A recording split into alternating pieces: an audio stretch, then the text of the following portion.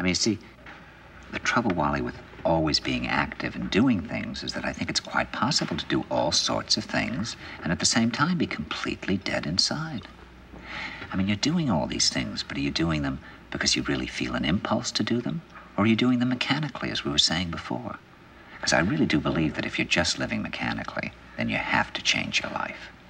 You know, when you're young, you, you go out on dates all the time, you go dancing or something, you're floating free, and then one day suddenly you find yourself in a relationship, and suddenly everything freezes. And this can be true in your work as well. And I mean, of course, if you're really alive inside, then of course there's no problem. I mean, if you're living with somebody in one little room and there's a life going on between you and the person you're living with, well, then a whole adventure can be going on right in that room.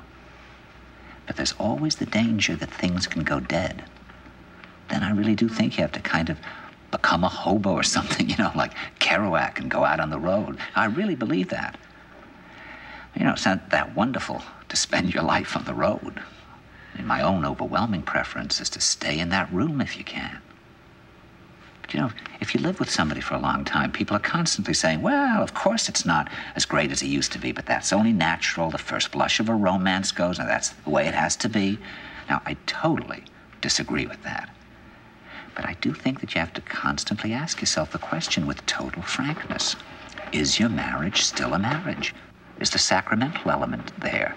Just as you have to ask about the sacramental element in your work, is it still there?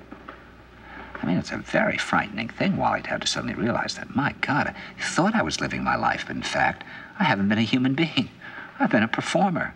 I haven't been living, I've been acting. I've, I've acted the role of the father, I've acted the role of the husband, I've acted the role of the friend, I've acted the role of the writer, director, what have you. I've lived in the same room with this person, but I haven't really seen them. I haven't really heard them. I haven't really been with them. Yeah, I know some people are just sometimes uh, existing just side by side. I mean, uh, the other person's uh, face could just turn into a great wolf's face and uh, just wouldn't be noticed. And it wouldn't be noticed. No, it wouldn't be noticed. I mean, when I was in Israel a little while ago, I mean, I have this picture of Chiquita that was taken when she, I always carry it with me. It was taken when she was about 26 or something, and it's in summer, and she's stretched out on a terrace in a sort of old fashioned long skirt that's kind of pulled up, and she's slim and sensual and beautiful. And I've always looked at that picture and just thought about just how sexy she looks. And then last year in Israel, I looked at the picture, and I realized that that face in the picture was the saddest face in the world. That girl at that time was just lost.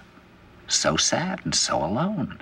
You know, I've been carrying this picture for years and not ever really seeing what it is. You know, I just never really looked at the picture. And then at a certain point, I realized I'd just gone for a good 18 years unable to feel, except in the most extreme situations. I mean, to some extent, I still had the ability to live in my work. That was why I was such a work junkie. That was why I felt that every play that I did was a matter of my life and my death. But in my real life, I was dead. I was a robot. You know, I didn't even allow myself to get angry or annoyed. I mean, you know, today, Chiquita, Nicholas, Marina, all day long, as people do. They do things that annoy me and they say things that annoy me. And today, I get annoyed and they say, Why are you annoyed? And I say, Because you're annoying, you know. I allowed myself to consider the possibility of not spending the rest of my life with Chiquita, I realized that what I wanted most in life was to always be with her. But at that time, I hadn't learned what it would be like to let yourself react to another human being. And if you can't react to another person, then there's no possibility of action or interaction.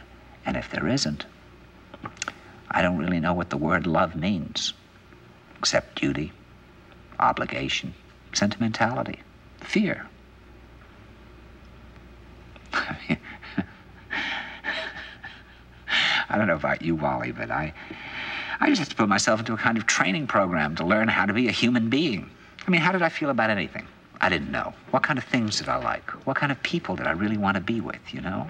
And the only way that I could think of to find out was to just cut out all the noise and stop performing all the time and just listen to what was inside me.